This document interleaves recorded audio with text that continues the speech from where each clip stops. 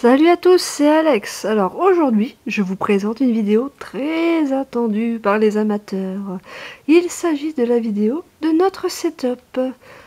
Alors, je vais vous montrer ce que nous avons de beau.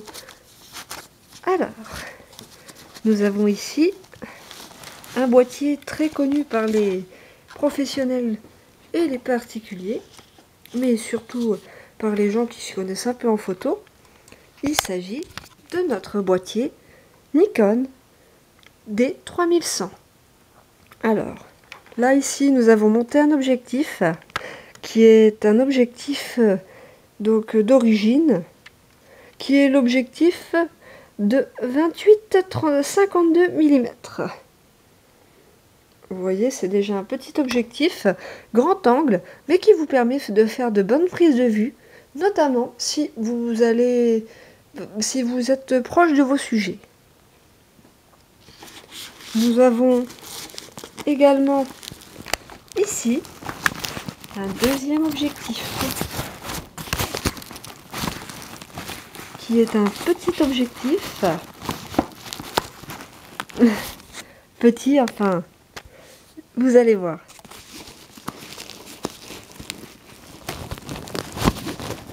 Donc euh, ça, chaque objectif est, muni de pare-soleil et de filtre UV.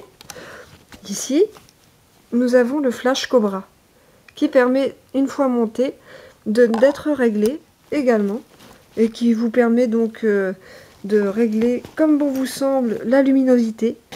Donc euh, il, est électroniquement donc équipé. Ici donc là c'est un objectif 5300 que vous avez ici. Et là, juste là, nous avons un objectif Sigma de 53 de 5300 mm qui fait également macro donc euh, qui est un téléobjectif et qui est vraiment fantastique pour les sujets de près comme de loin. C'est vraiment fantastique. Alors nous avons également un jeu de lumière euh, ici que je vais vous montrer dans quelques instants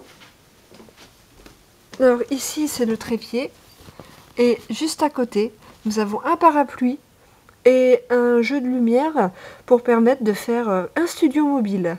Et nous avons également bien sûr donc des fonds colorés qui permettent euh, de faire la mise en place.